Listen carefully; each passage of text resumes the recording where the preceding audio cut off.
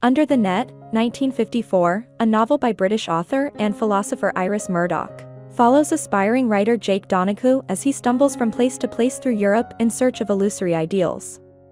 The novel falls into the genre of the picaresque, a comedic form in which a clever, lower-class protagonist makes his way up in the world using his wits. For advice, Donaghue looks to his old philosopher friend, Hugo Belfounder, the novel puts a modernist spin on this old form, depicting Donaghue as a freeloader who, ironically, succeeds due to the serendipity of encounters that the chaos of the modern world provides. Part of the modern canon, the novel is often considered one of the greatest works of the 20th century. The novel begins as Donaghue returns to London after a brief visit to France.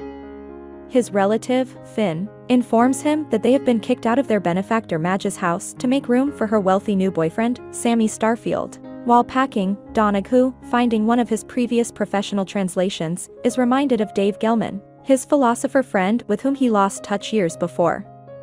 He goes to Dave's apartment, drops off his suitcase. Upon Finn's advice, he then goes to the home of Anna Quentin, a singer and his former lover.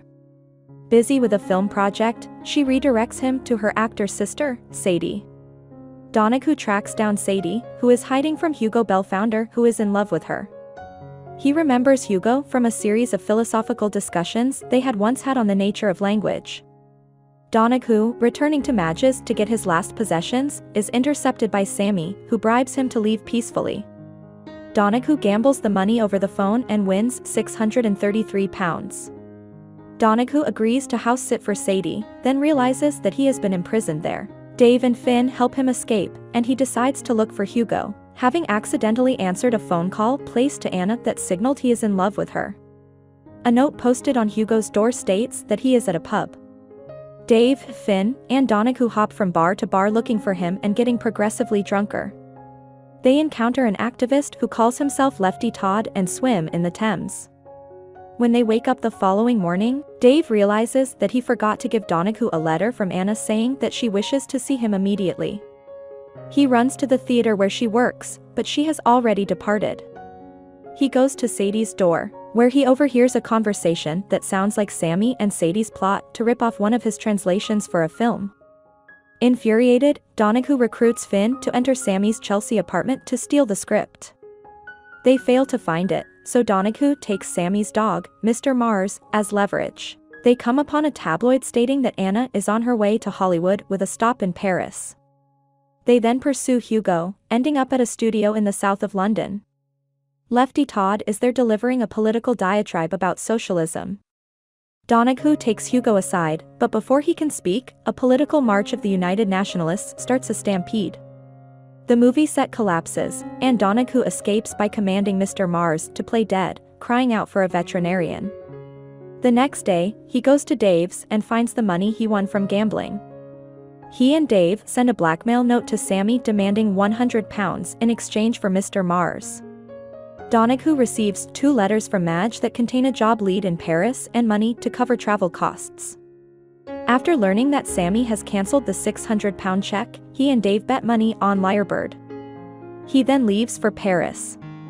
On Bastille Day, Donaghue is shocked to hear that one of his writing rivals, Jean-Pierre Breteuil, has won an award for his novel. He bitterly declines Madge's job lead after finding that it is related to the film industry. He walks through Paris and spots Anna, but loses her in the crowd. He chases her down but ends up following a doppelganger, the next day, he learns that Lyrebird has won despite terrible odds. Finn takes his part of the winnings and vanishes, while Donaghue sinks into a depression. In the coming weeks, Donaghue finds work as a hospital assistant. Hugo is one of his first patients, having been struck by a thrown brick at a political event. He visits the hospital in the middle of the night to avoid being fired for being overly familiar with a patient on the job. To his surprise, Hugo is not upset with him, nor is he in love with Anna. On the contrary, Anna loves him and he loves Sadie, who in turn loves Donaghue. Donaghue helps Hugo escape the hospital, but is spotted by his boss, and quits before being formally fired. At the end of the novel, Donaghue goes to visit Hugo. Hugo has absconded, leaving his possessions to Lefty. He also finds that Finn has returned to his home, Ireland. Sadie convinces Donaghue to pay for Mr. Mars to reconcile with Sammy.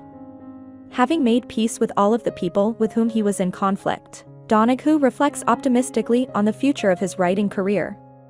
A novel primarily about the serendipity of modern life, Under the Net uses its protagonists wandering to show how conflicts and resolutions arise unpredictably in the creative life. In living his own story out to a good resolution, Donaghue matures as an artist and readies himself to finally produce original work. I hope you enjoyed this video leave a like if you did and be sure to subscribe thank you.